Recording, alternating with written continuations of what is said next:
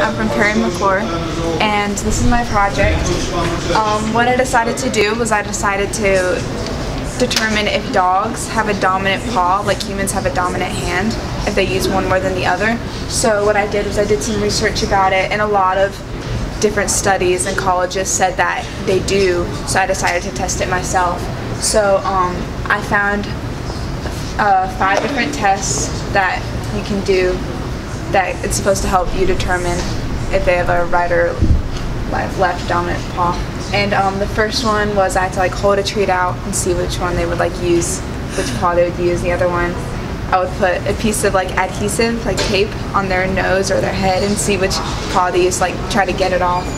Um, then the first step test where you see which one they use to take their first step when they start walking and put a treat in a like rubber tube and see which one they hold still while I try to get it out and put it in the bottom of a tall glass and try and see. So I tested seven different dogs and all but one of them showed that they used one paw a lot more than the other. It was very obvious for all except one dog. The other dogs didn't really respond to any of the tests.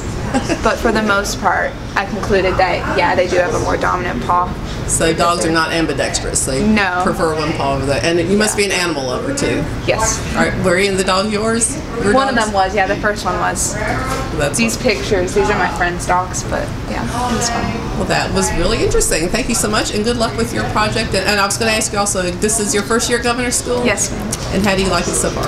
Um, I like it. I like it's very challenging, but I, it's a good environment because everyone here is really um, they're respectful and they are trying hard to learn. So it's just a room full of kids that all are trying hard and paying attention to class. But it's very challenging and it's a lot of work, but it's okay. Good preparation for life. Yeah.